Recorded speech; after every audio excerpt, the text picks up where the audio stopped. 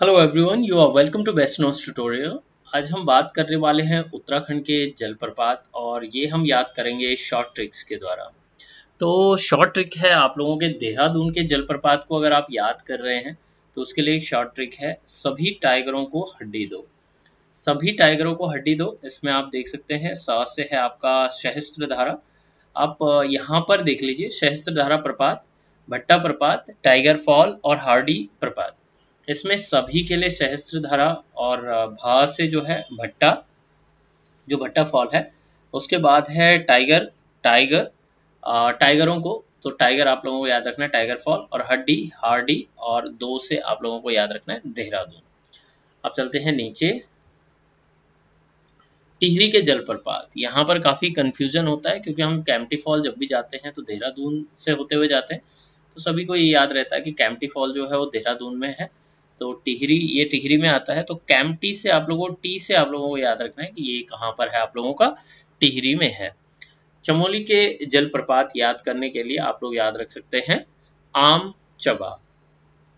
आम चबा, अलकनंदा माँ से है आप लोगों का माड़ा, चा से चमोली, चबा वसुंधरा। तो जो ये वर्ड है बीच में चा, ये चमोली के लिए है। तो जब आप इन ट्रिक्स को लिखेंगे एक पेज में तो आप लोगों को यहाँ पर इसे राउंड करते रहना है।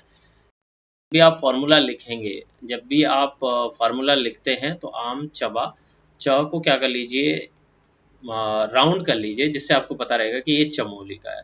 जैसे आप कैम्पटी फॉल अगर कहीं पर भी लिखते हैं तो आप टी को क्या कीजिए राउंड कर लीजिए, आप लोगों को याद रहेगा, ठीक है? यहाँ पे आपको को राउंड करना है, सभी टाइगरों को हड्डी दो, यहाँ पे दो से आप लोगों को राउंड कर लेना है, द को। तो इस तरह से आप लोगों को याद रहेंगे। अब है आप लोगों का अगला पिथौरागढ़ के जलप्रपात। विर्थी जलप्रपात मुंशियारी में है। इसको आप पीएम वीर से याद रखेंगे और पीएम में पी को आप लोगों को राउंड कर लेना है। तो आप लोगों को याद रहेगा विर्थी जलप्रपात जो है वो मुंशियारी और पिथौरागढ़ में है। विर्थी, वीर से विर्थी। एक चीज़ बहुत इंपॉर्टेंट है कि कई बार जब हम तैयारी कर रहे हैं या कोर्स भी हमने, हम जो प्रोवाइड करवा रहे हैं, उसमें आप लोगों को थर्टी परसेंट ही जो है चीज़ें शॉर्ट ट्रिक से बताई जाएँगे, ठीक है? तो ऐसा नहीं है कि सारी चीज़ें हम शॉर्ट ट्रिक से कर पाएँगे। अगर हम सारी चीज़ें शॉर्ट ट्रिक से करने की कोशिश करेंगे तो उसकी एक नई बुक बन जाएगी और उस बुक को भी याद करना हमें ही पड़ेगा। तो कुछ चीज़ें हैं जिन्हें आप, अगर आपके पास में किसी सब्जेक्ट में टेन चैप्टर्स है तो उसमें से दो तीन चैप्टर भी अगर आप शॉर्ट ट्रिक से कर लेते हैं तो काफ़ी एडवांस हो जाता है। और शॉर्ट ट्रिक का मतलब क्या है? उसे आप लोगों को ये भी बात समझनी है कि जो शॉर्ट ट्रिक होती है, वो क्यों होती है? ठीक है, हमारा जो ब्रेन है उसमें किसी चीज़ को इस्टेब्लिश करने के लिए शॉर्ट ट्रिक होती है। फिर हमारे दिमाग में जब वो चीज़ इस्टेब्लिश हो गई तो हमें शॉर्ट ट्रिक को किनारे करके उस इंफॉर्मेशन को रिपीटिशन करना है। जैसे कि मैंने आपको अभी चलिए बुग्यालों के बारे में हम कल बात करेंगे, लेकिन इसी को ले लेते हैं। सपोज़ कीजिए ये हमने कहा कि यहाँ पे बाघ का कफन, ठीक है, बाघ का कफन, इस शॉर्ट ट्रिक को हमने ले लिया। तो में हम क्या करेंगे? हमारा ब्रेन जो है, वो खाली है।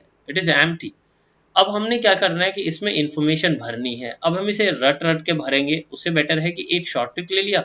इन्फॉर्मेशन हमने फ़र्स्ट स्टेप में क्या करना है? इन्फॉर्मेशन हमने ब्रेन में स्टैब्लिश कर लिया, भर लिया हमने। अब इसके बाद क्या करना है आपको? जब ये ब्रेन में स्टैब्लिश हो जाए, तब आपको इसे प्रैक्टिस करना है कि बागेश्वर कफनी में है। अब अगर आप क्योंकि हर टाइम आपके पास बुक नहीं होती है तो अगर आपको अपना टाइम सेव करना है सपोज़ कीजिए आप कहीं घूमने जा रहे हैं मीन्स किसी काम के लिए गए हुए हैं, और आपको थर्टी मिनट लगना है वहाँ पे तो आपके दिमाग में अगर चीज़ें इस्टेब्लिश नहीं है तो आप उसका रिविज़न नहीं कर सकते चलते चलते लेकिन अगर चीज़ें दिमाग में इस्टेब्लिश है तो आप चलते चलते उनका रिविज़न अच्छे से कर सकते हैं। तो इसलिए शॉर्ट ट्रिक होती है कि एक बार दिमाग में चीज़ें स्टेब्लिश हो गई, अब मैं उनका जो रिविज़न होगा, जो आपका एक घंटे का काम है, वो आप सिर्फ़ दस मिनट में कर सकते हैं। तो शॉर्ट ट्रिक इसलिए होती है, ठीक है? लेकिन हर चीज़ के लिए शॉर्ट ट्रिक ढूंढना वो सोल्यूशन नहीं है। तो आज के लिए ये वाली वीडियो आप लोग याद कर सकते हैं। एक बार फिर से इसका रिवीजन कर लेते हैं, जो आप लोगों के शॉर्ट ट्रिक हैं। देहरादून के लिए आप लोग को याद रखना है, सभी टाइगरों को हड्डी दो। टिहरी के लिए आप लोगों को याद रखना है कैम्पटी में टी जो है वो टिहरी का है। चमोली में जलप्रपात की बात करें तो आमचवा और पिथौरागढ़ के जलप्रपात जो है वृथी तो उसमें पीएम वीर याद रखना क्योंकि ये जो जगह है मुंशियारी, ये भूल जाते हैं हम लोग। तो जिन्हें, जो शुरुआत कर रहे हैं, ठीक है? अब ये सारे जो हैं, आप लोगों को एक बार याद हो गए होंगे। तो आप लोग देखेंगे कि पहला है सहस्त्रधारा भट्टा प्रपात टाइगर फॉल और हार्डी प्रपात। इनको याद करने के लिए सभी टाइगरों को हड्डी दो। सहस्त्रधारा स से सहस्त्रधारा और भ से है भट्टा फॉल, टाइगर टाइगर फॉल और हड्डी, हार्डी फॉल और ये सब किसमें है देहरादून में। मैंने आप लोगों को कहा कि इसे राउंड ज़रूर कीजिएगा। जब भी आप शॉर्ट ट्रिक लिखेंगे तो राउंड ज़रूर कीजिएगा इसको। टिहरी के जलप्रपात कैम्पटी जैसे हम लिखेंगे और राउंड कर लेंगे तो हमें पता चल जाएगा ये टिहरी में है। चमोली के जलप्रपात, इसमें आम चबा च जो है वो आप लोगों का क्या है, चमोली से को रिप्रेजेंट करता है। आम चबा, अलकनंदा माड़ा यहाँ पे चमोली और बसुंधरा। पिथौरागढ़ के जलप्रपात, विरती जलप्रपात ये कहाँ है? मुंशियारी में। तो पीएम वीर आप लोग लिखेंगे। तो अगर आप इन चारों को लिखते हैं बार बार लिखेंगे, एक पेज ले लीजिए, उनमें पहले शॉर्ट ट्रिक को लिख लीजिए। जैसे ही शॉर्ट ट्रिक हो जाए तो शॉर्ट ट्रिक से आप रिलेटेड चीज़ों को पढ़ लीजिए।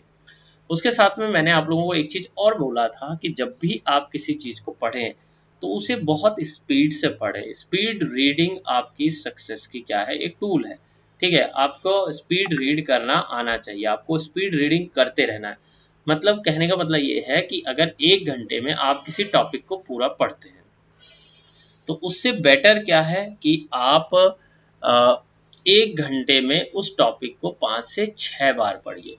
तो फ़र्स्ट टाइम ब्रेन को स्टैब्लिश करने में, चीज़ों को स्टैब्लिश करने में थोड़ा सा दिक्कत आएगी। लेकिन जब पाँच छः बार आपकी रीडिंग उस चीज़ की हो जाएगी तो ब्रेन के लिए बहुत ईजी हो जाता है। राइट तो चलिए मिलते हैं अगले वीडियो में। तब तक के लिए good bye take care all the best for your exams